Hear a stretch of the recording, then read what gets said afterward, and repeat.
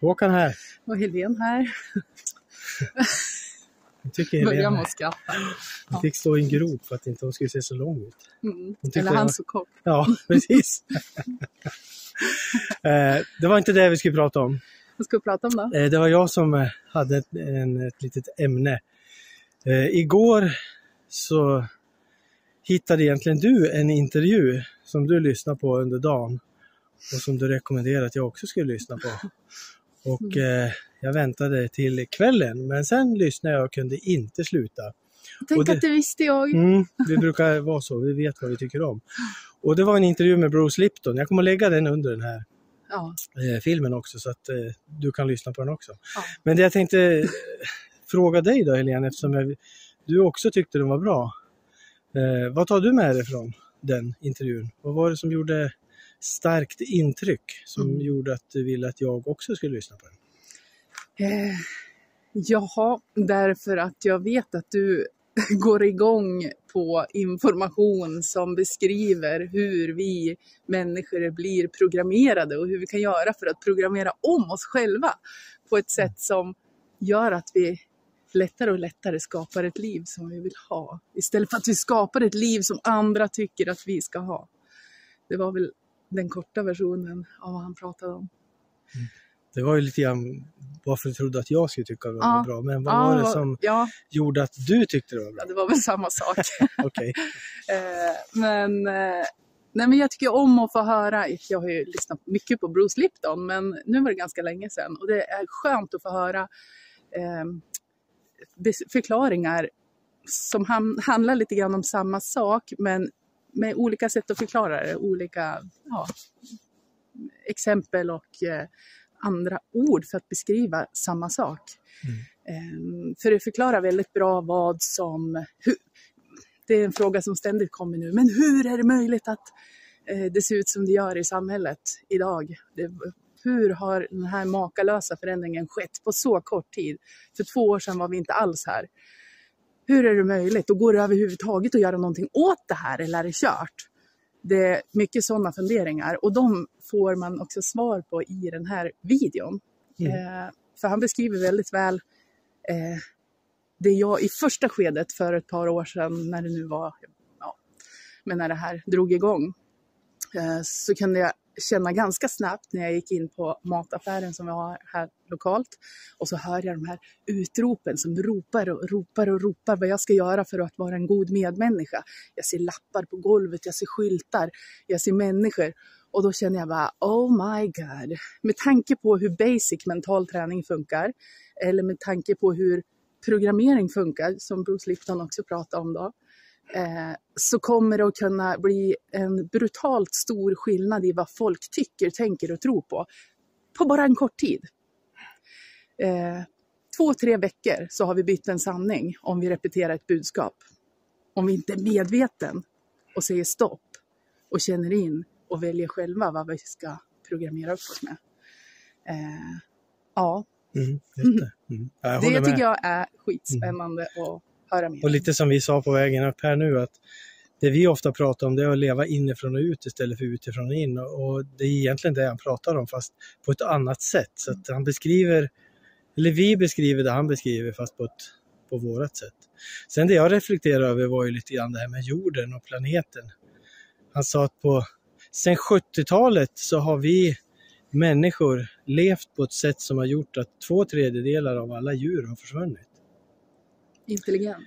Ja, det är ju smart. Och han sa det att om vi fortsätter som vi gör nu, då kommer alla fiskar att vara borta om eh, 25-30 år.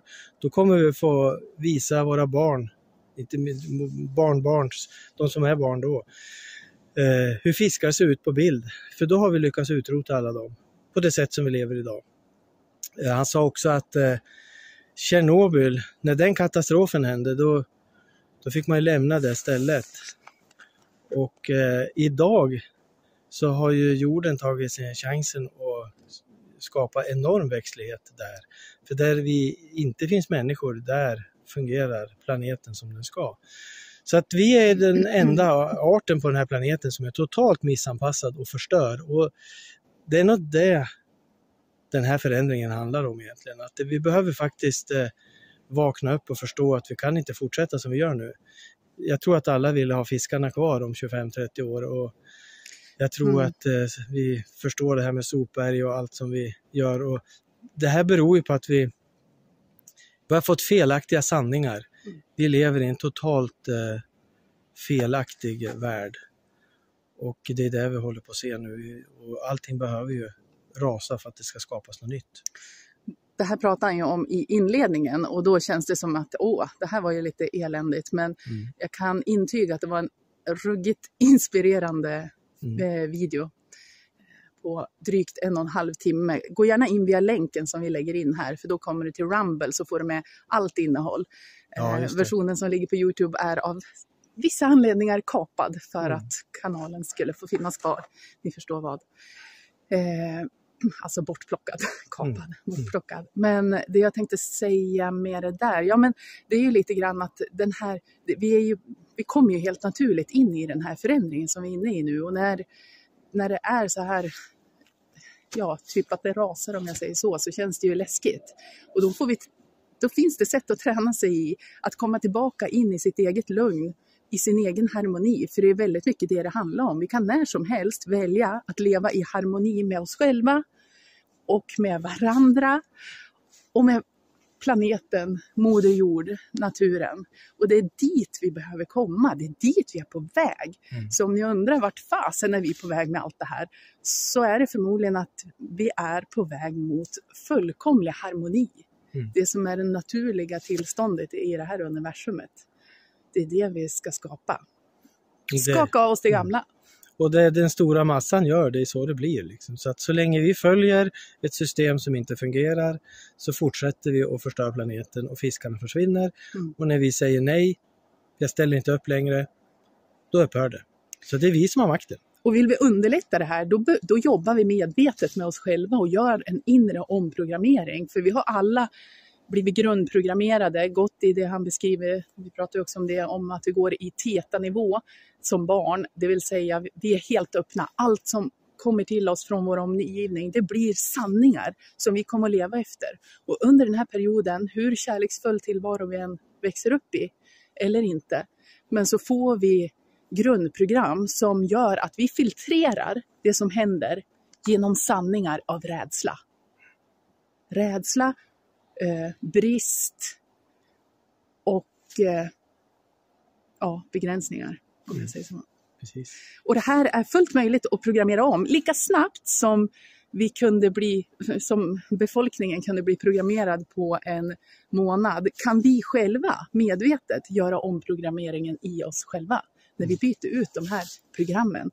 För någonstans, hur märkligt det än låter, så är ju allt neutralt innan det kommer in i vårt sinne och filtreras genom hjärtat eller mina undermedvetna program.